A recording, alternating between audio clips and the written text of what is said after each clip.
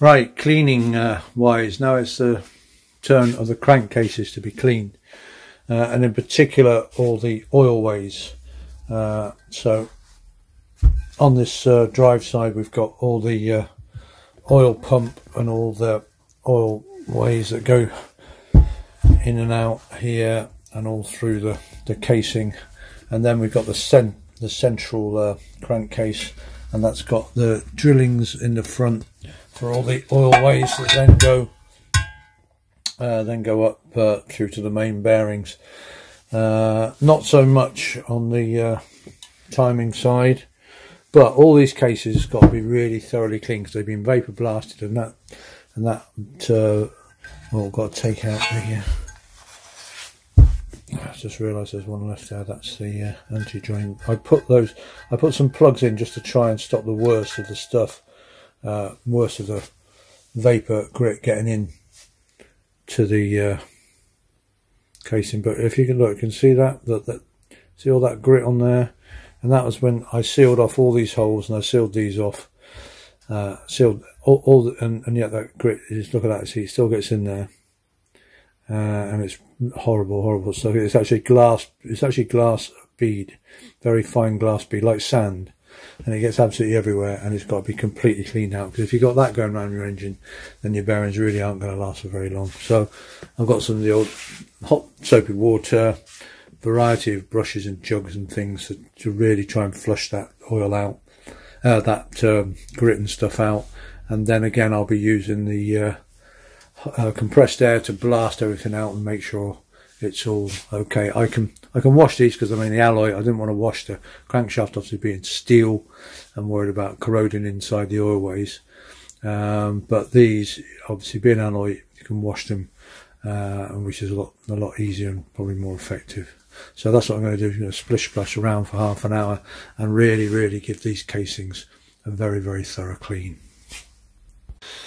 Right, well, phase one of the cleanup is done, and they were really, uh, really dirty. You know, I had to give them a really good clean, especially uh, all around the uh, the oil pump, because there's so many oilways in here. So many different uh, oilways all meet in in here, so I had to give that a really good clean. Also, another uh, another point of uh, was actually inside the gearbox because of course you're not blasting inside the gearbox but when they're doing it all the dust settles in there and there's all these like little shelves that the um, the dust, the grit loves to just settle on. So you've got to really clean everything. Then all around the uh, oil uh, filter uh, and these, uh, and as I say, these drillings all the way through the, all the way that go all the way through the crankcases through to the oil uh, filter and up to the mains. Uh, I've also done the um, inner gearbox cover because that um, that grit does it gets absolutely everywhere. So it's not just the bearings, you need to clean anywhere that's going to be inside the engine. Um, and then you can feel that grit, you can feel it rather than see it. You can feel whether it's still there. It's, it's, like sand.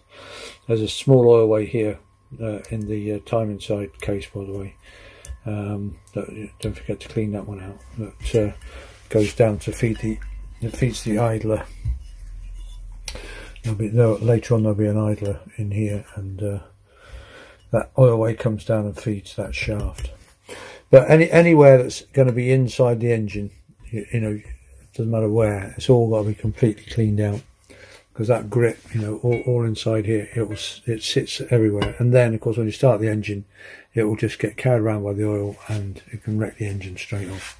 So um, I'm going to uh, next up. I'm then going to um, put the uh, compressed air on all the uh, oilways and so on, and and then I might I might get the jet wash jet washer out and, and give them a good jet wash down through the uh, oilways as well. I'll see I'll see how uh, how clean they are.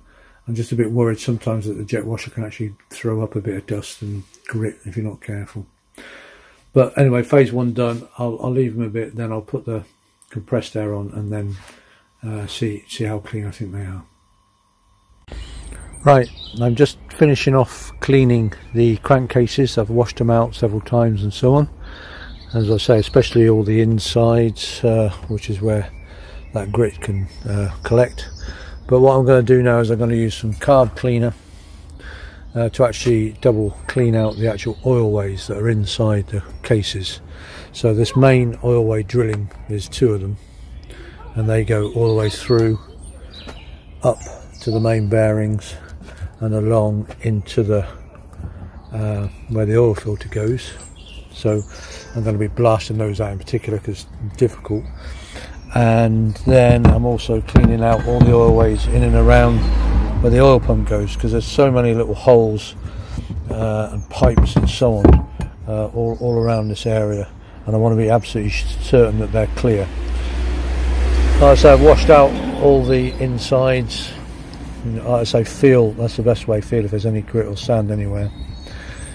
Uh, but again, I'm going to spray them, uh, all the actual oilways with brake cleaner, uh, just to get everything out. And in retrospect, of course, I could have done this uh, on the crankshaft as well if I'd have had my brain engaged. Uh, on the crankshaft, uh, you can use carb cleaner or brake cleaner or whatever, but I tend to use the carb cleaner on alloy because uh, I know it's okay with the because uh, it's designed for carbs but you can also use brake cleaner clutch cleaner as well but that's what I'm going to do now give these a good swill out. I'm, I'm outside because this is mean stuff. It's horrible. I mean I'll, I'll probably just destroy half the ozone layer by the time I'm finished with one of those. And uh, it's really pungent stuff. So always use it outside because it uh, it really isn't good stuff. But, but very good stuff for cleaning out oilways right I've given them a, a really good clear out. And uh, I'm glad I'm glad I did because uh, it's amazing how much crud still came out. And I don't know if the camera's going to pick this up but can you see all this grit on here? Look.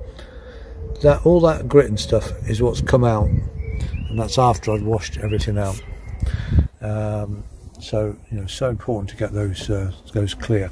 And what I've also done is I've also given all the, I've clean I've given all the threads a quick uh, blast out as well. I will be uh, checking them with a tap uh, later on because that uh, vapor blasting it really can bugger these threads up um, but first step is I've, I've, also done all the threads uh, on on the cases and I'll do the same uh, with the other cases give them a do all the do all the threads as well as the oilways get everything as absolutely clean as you can. Um, okay, but uh, for now, that's our cleaning. That's our cleaning done before we chase up any threads and mend anything. I know I've got a I've got to replace a stud. There's a stud. I've got a new stud in. Yeah, there's a new stud needs to go in there. Things like that. But the cleaning's done, and uh, we'll be. And after that, just checking everything's okay with the cases and cleaning out all the all the threads in all the cases and then we're actually ready to start we'll be ready to start actual assembly then okay well that's it for now